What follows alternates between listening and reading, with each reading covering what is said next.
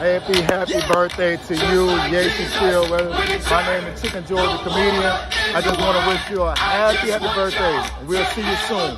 Celebrate.